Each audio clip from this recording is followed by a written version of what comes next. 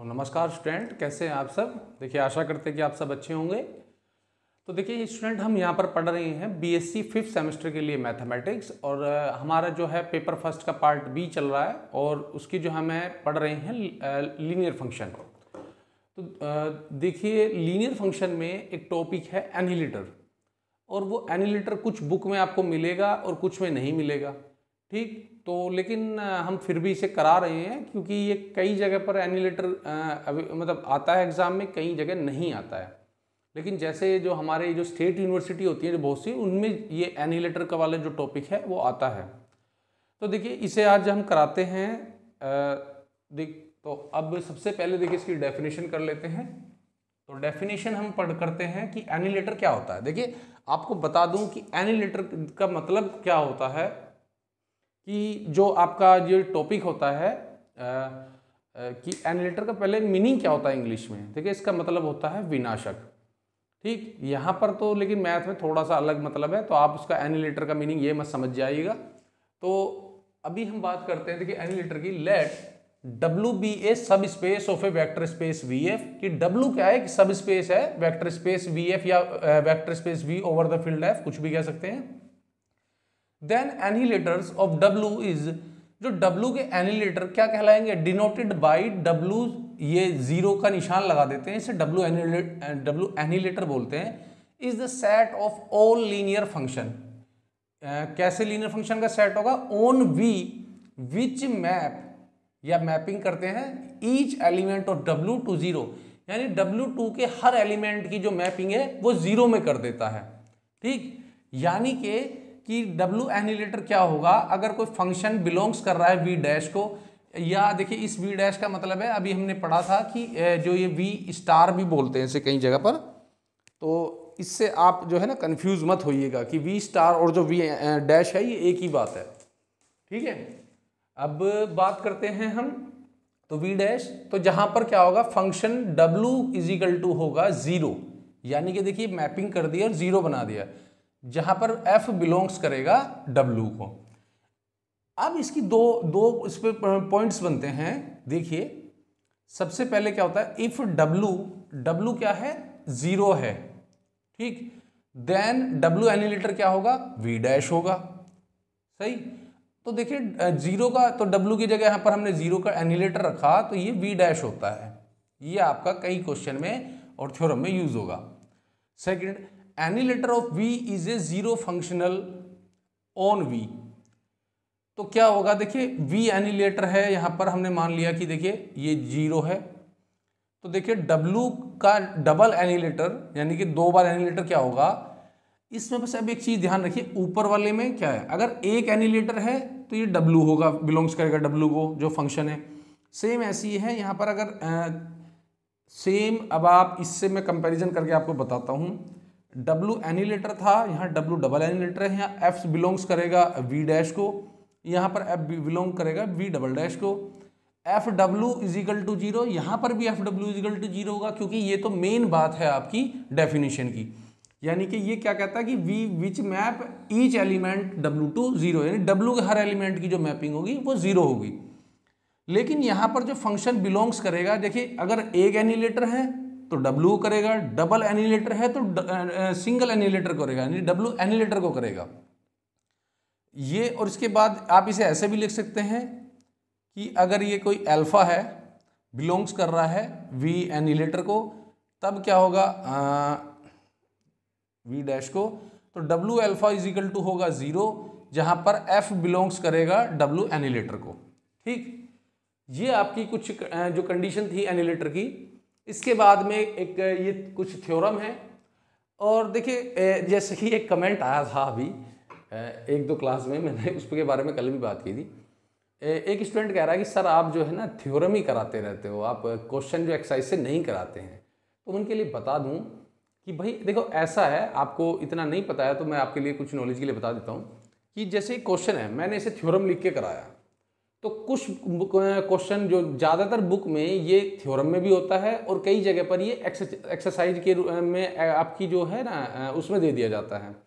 और ये वो चीज़ें मैं कराता हूँ, जैसे कि अभी इसी थ्योरम की आप बात कर लीजिए, ये किसी बुक में तो एज ए थ्योरम दे रखा है और किसी बुक में एज ए एग्ज़ाम्पल में दे रखा है और किसी किसी बुक में ये एज ए जो आपकी जो एक्सरसाइज होती है, उसमें दिया हुआ होता है एज ए क्वेश्चन जो आपको सोल्व करना होता है। तो इस चीज़ को लेकर कन्फ्यूज़न मत पालिएगा कि आप क्वेश्चन करा रहे हैं, नहीं करा रहे हैं। और बात रही क्वेश्चन कराने की, देखिए, ये आपकी ट्वेल्थ क्लास तो है नहीं है कि आपको एक एक क्वेश्चन जैसे नाइन टेंथ इलेवन ट्वेल्थ में पढ़ते थे कि भाई आपको जो है ना सारे के सारी जो क्लासेज हैं कि मतलब एक एक क्वेश्चन आपको कराया जाएगा।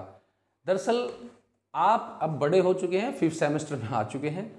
सबसे पहली बात मैं आपको बता देता हूँ, देखिए कन्फ्यूज़न दूर कर देता हूँ कि क्लास और लेक्चर में फ़र्क होता है।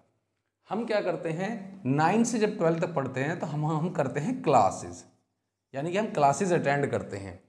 लेकिन अगर आप ध्यान दें तो आपका जो ग्रेजुएशन हो गया, जिसमें आपका ये भाई बीएससी हो गया बीटेक हो गया बीबीए बीसी जो भी आप कुछ पढ़ते हैं ग्रेजुएशन और पोस्ट ग्रेजुएशन में ज़्यादातर जगह आपको लेक्चर दिया जाता है.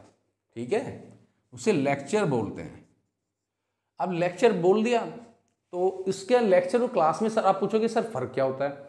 देखिए लेक्चर और क्लास में फ़र्क होता है कि क्लासेस में आपको बहुत सारे क्वेश्चन पहले आपको टॉपिक समझाया, उसके बाद आपकी सारी जो प्रॉब्लम है, सारे जो क्वेश्चन जो आपकी बुक्स जो टेक्स्ट बुक में दिए होते हैं, वो सोल्व कराए जाते हैं। लेकिन लेक्चर में क्या होता है कि आपको एक बार टॉपिक क्लियर करा दिया, एक दिया दो क्वेश्चन करा दिया, उसके बाद बाकी चीज़ें आपको करनी होती हैं।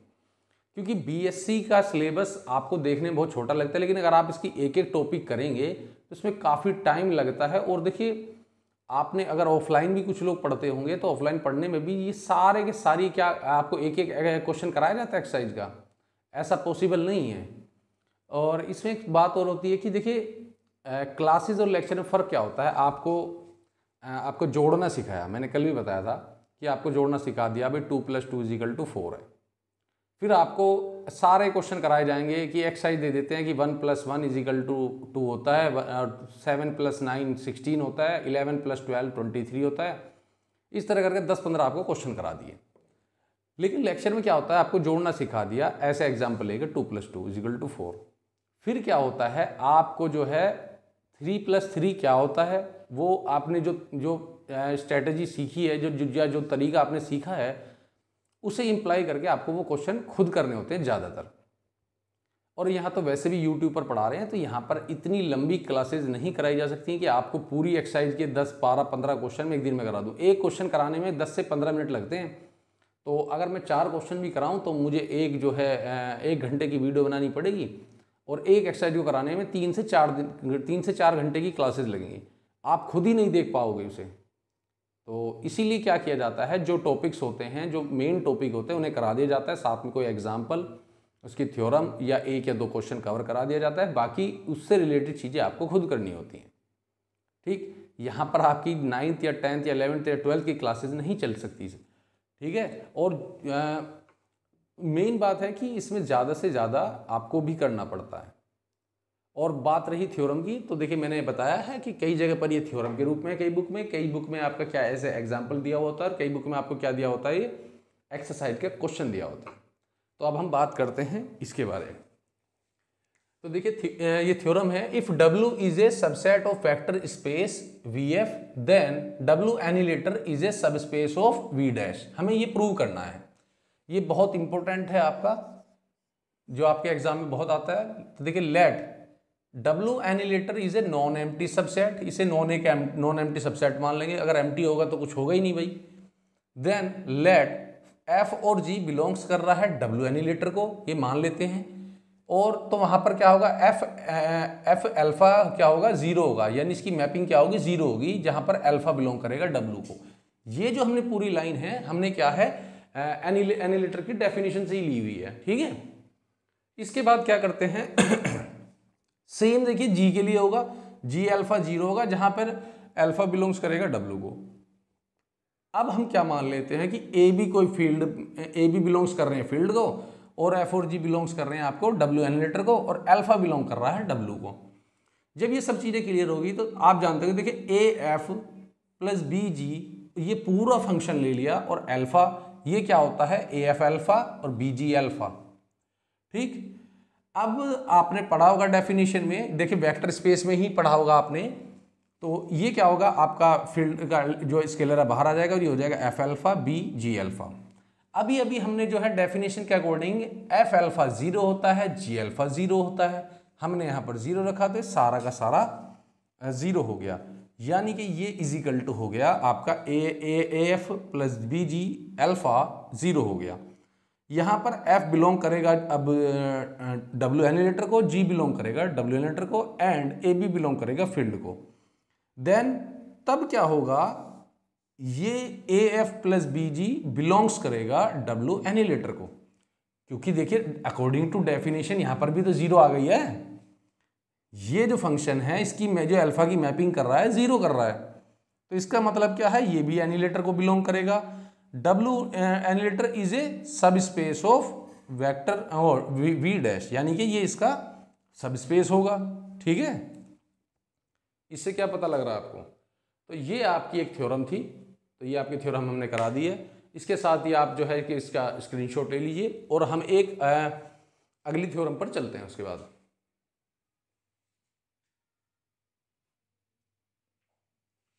तो देखिए स्टूडेंट कुछ थ्योरम है, हम वो थ्योरम कराते हैं एनिलेटर की।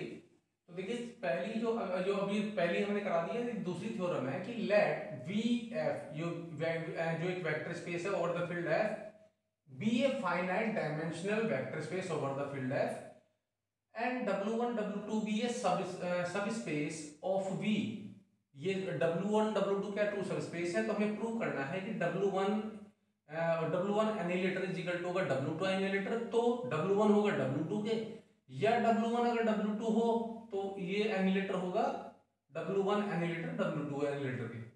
ये आपस में इक्वल होंगे। तो देखिए हम हमारे पास क्या है? अभी हम ये लेकर चलते हैं टेक यहाँ पर ले लेते हैं कि W one annihilator is equal to W two annihilator बहुत साइड हम इनके एनिलेटर लगा देते हैं। तो क्या होता है? देखिए, इसमें क्या है? एनिलेटर में क्या होता है? अगर किसी टर्म पर दो बार एनिलेटर आ जाता है तो वो क्या है? सेम वापस वही हो जाता है। जैसे आपको याद हो कि सेट थ्योरी में क्या होता था? ए डैश का डैश कर देते थे तो वो वापस सही हो जाता था। सेम यहाँ पर एनिलेटर में होता है। तो अभी क्या हो गया? ये डबल एनिलेटर हो गया। W one double annihilator W two double annihilator तो ये क्या हो जाएगा? ये डब्ल्यू वन हो गया डब्ल्यू टू हो गया। इस तरह से जो आपकी ये जो है, ये प्रूव हो गई है। ठीक? छोटी सी डेफिनेशन जो थ्योरम थी आपकी, कई कई जगह एज ए क्वेश्चन या एमसीक्यू में भी आ जाता है। इसके बाद एक देखते हैं मोस्ट इंपोर्टेंट क्वेश्चन है। और ये एक बुक किसी किसी बुक में ये एग्जांपल दे रखा है, किसी में थ्योरम में दे रखा है, किसी में एज ए क्वेश्चन दे रखा है। तो इस बात को, ठीक है ध्यान रखना हर बार। If W1 and W2 be any two subspaces of vector space VF W1 W2 क्या है? दो सबस्पेस हैं। और ये क्या होगा, इसमें दो चीज़ प्रूव करनी है कि A W1 one plus W का एनिलेटर क्या होगा? W1 one annihilator intersection W2 annihilator और ये बी पार्ट है कि इसमें W1 one annihilator W2 annihilator बराबर होगा W1 one annihilator plus W2 annihilator ठीक? तो पहले हम ए पार्ट इसका प्रूव करते हैं। तो देखिए, इसमें हमें क्या प्रूव करना है? First we have to prove that देखिए, अगर इक्वल प्रूव करना है तो हम क्या करेंगे? सबसे पहले कि W1 one annihilator W2 annihilator के इस वाले पोर्शन को इसका सबसेट प्रूव कर देंगे। दूसरी बार में इसको इसका सबसेट या इक्वल टू प्रूव कर देंगे। जब ये दोनों प्रूव हो जाएगा तो ये आपस में इक्वल हो जाएगा।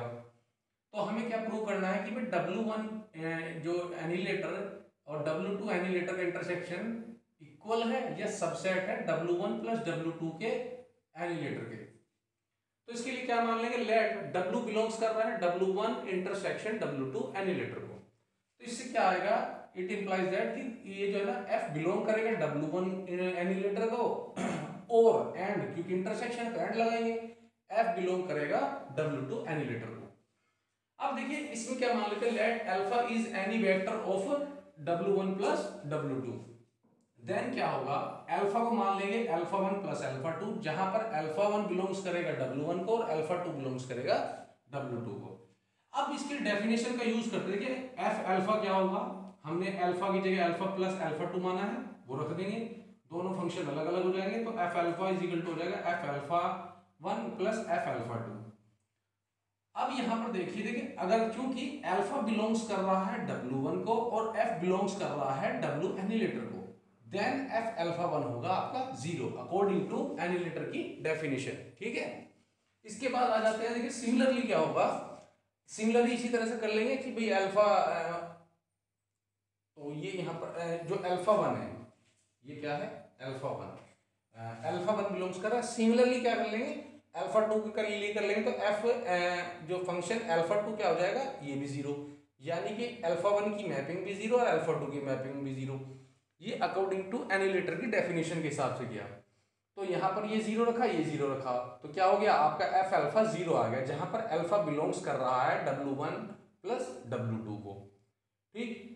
देन एफ़ बी भी बिलोंग्स करेगा डब्ल्यू वन और डब्ल्यू टू के एनिलेटर को डेफिनेशन के अकॉर्डिंग ठीक? अगर एल्फा बिलोंग्स कर रहा है डब्ल्यू वन डब्ल्यू टू को तो यहाँ पर क्या करते हैं देखिए। अगर एल्फा बिलोंग कर रहा है डब्लू को तो फ़ंक्शन बिलोंग करेगा डब्लू के एनिलेटर को, उसके हिसाब से कर दिया। तो क्या हो गया? W one annihilator intersection W two annihilator क्या करेगा?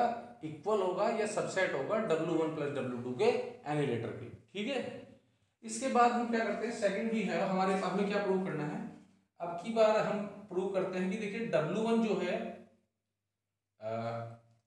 यहाँ पर इन्हें अलग अलग ले लेंगे कि डब्लू वन इक्वल है या सबसेट है? W one plus W two का। तो देखिए जब एनिलेटर लगाते हैं दोनों साइड में तो ये जो है सबसे जो जो सबसेट का जो जो निशान है, ये उल्टा हो जाता है। यानी इसकी तरफ़ था, अब ये घूमकर इनकी तरफ़ हो जाएगा डब्लू वन की तरफ़ को। एनिलेटर का निशान दो साइड लगाने पर अगेन डब्लू टू क्या हो गया? अगर हमने दोबारा लिया डब्लू टू सबसेट है या इक्वल है W one plus W two के तो एनिलेटर लगाया तो W one plus W two का एनिलेटर इक्वल होगा या सबसेट होगा डब्लू टू के एनिलेटर के। हेंस जो ये आपका W one plus W two का एनिलेटर प्रूव हो गया है W one annihilator intersection W two annihilator इसके बाद इसका बी पार्ट है। बी पार्ट बहुत आसान तरीके से हो जाएगा, क्योंकि हम ये अभी प्रूव कर चुके हैं जो आपके ए पार्ट को। तो इसी को लेकर चलते हमें प्रूव करना है। टू प्रूव दैट हमें करना है W one intersection W two का W one intersection W two का एनिलेटर और इजिकल टू होगा W one annihilator plus W two annihilator now हमारे पास क्या है कि W one plus W two का एनिलेटर इजिकल टू है W one annihilator intersection W two from a जो हमने ए वाला पार्ट लिया है, उसमें से हमने ये लिया है। हमने ये तो प्रूव किया था भाई यहाँ पर। ठीक है? तो यहाँ पर रिप्लेस कर देंगे कि W1 की जगह W1 एनिलेटर को रिप्लेस किया और W2 की जगह W2 एनिलेटर को स्पेस किया।